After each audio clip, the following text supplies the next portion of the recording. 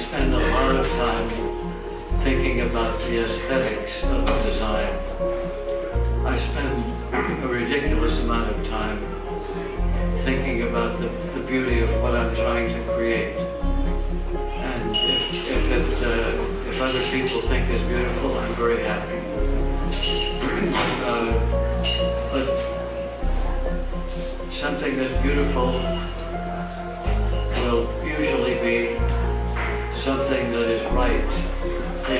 and something that's beautiful, as we can see with some of the boats here, will be better cared for by their owners than ugly boats.